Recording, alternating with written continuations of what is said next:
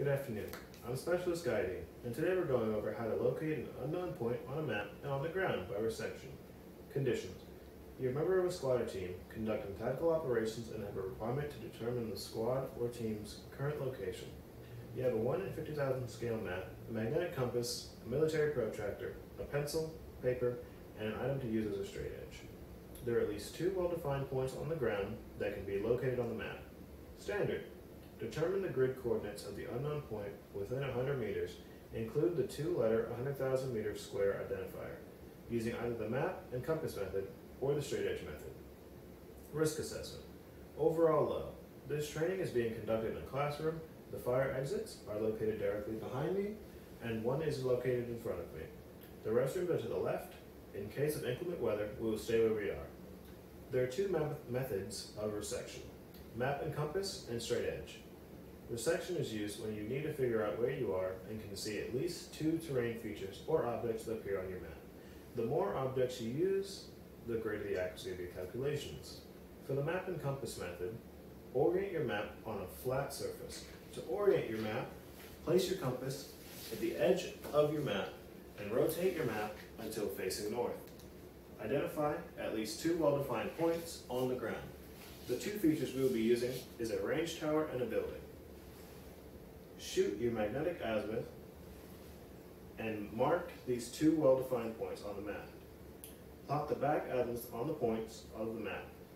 To compute a back azimuth, determine the magnetic azimuth from your location to one of the defined points. Convert the magnetic azimuth to a grid azimuth. To convert your magnetic azimuth to a grid azimuth, you must subtract the GM angle from the magnetic azimuth. Convert this grid azimuth to a back azimuth. To convert a back azimuth, if grid azimuth is less than 180, you add 180. And if it is greater than 180, you subtract 180. Now, place the index point of the protractor on the well-defined point.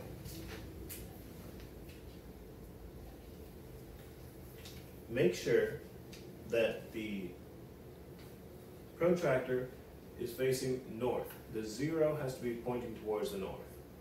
Place a tick mark on the top of the map. Now, use your protractor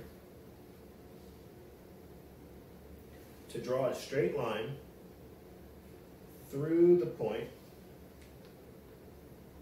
You'll do an exaggerated line all the way through the point. Now, repeat these exact steps for each well-defined point.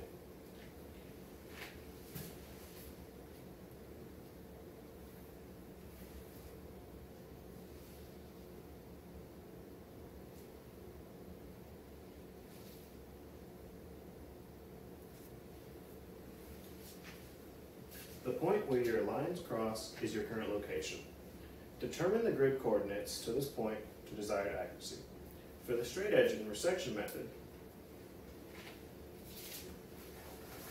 you will locate at least two known distant locations or prominent features, then plot those locations on the map.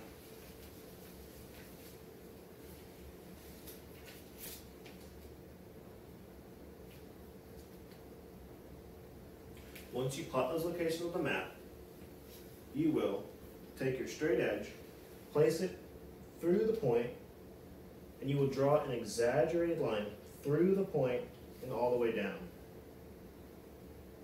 You will do the exact same steps for the other side.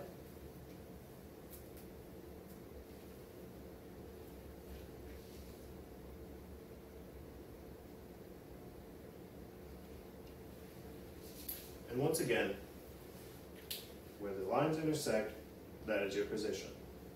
Determine the grid location to the known point of desired accuracy.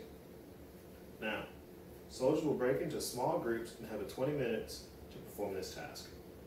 20 minutes has elapsed.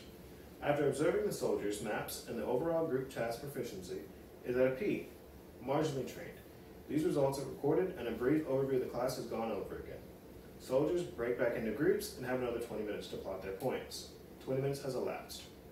After observing the overall group task proficiency, we're T, we're trained. Any soldier who did not meet the standard will report back in an hour for retraining and will be evaluated once again. Class scores will be reported to leadership and all equipment has been accounted for, including my protractor, compass, map markers, pencil, and paper, and my maps as well. And AAR will be done now. So what happened? What was supposed to happen? And how did it go? After this, we will close the site, report everything to leadership, and that is all.